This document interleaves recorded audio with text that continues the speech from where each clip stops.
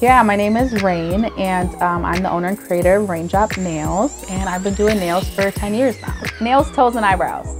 So I do nails all across the board and all across different age groups. My specialty is designs, whether it be abstract art or a picture printed on your nails or blinged out with gems. My goal is to work with each of my clients on an individual level to help them achieve the look that they desire. So check out Raindrop Nails where I offer quality nails at affordable prices.